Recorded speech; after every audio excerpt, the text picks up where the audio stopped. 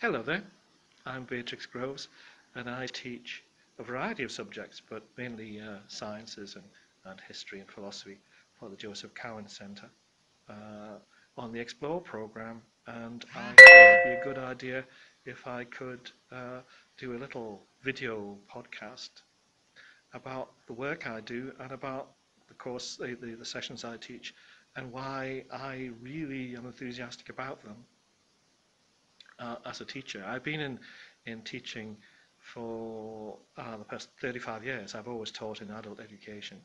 And my, I've, well, it's something I enjoy enormously. It's been a, um, the, the, kind of thing that, that really uh, has made my life more interesting than, would, than it would have been otherwise if I'd gone on and done other jobs, like the job I first started off, which was as a civil servant.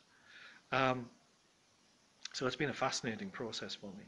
Uh, what I love about teaching for Joseph Cowen is I get largely a free hand in how I teach and uh, how the, the whole process operates. And that gives me a great opportunity to be innovative and fun and uh, get to know my students really well and to in, enjoy working with them. I'm not the kind of person who gives lectures very much. I much more rather uh, work with people and discuss things with people and, and operate alongside them rather than be the kind of person who's always at the front talking, even though I love the sound of my own voice. This current term I'm doing a course called History in Fact and Fact and Fiction. Sorry, did I say that again? History in Fact and Fiction. And the theme of the course is to provide an opportunity for people to look at how history has been uh, uh, shown and and uh, discussed in the media, such as the cinema and in books and in so on and so forth, and contrast that with as much as we know about the reality of, of history and historic events.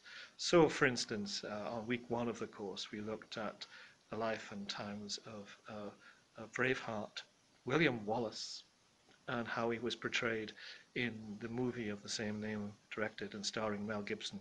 And it was interesting to note how many differences there were between Gibson's version of events and reality. William Wallace is a totally different character to the way which he's portrayed in the movie.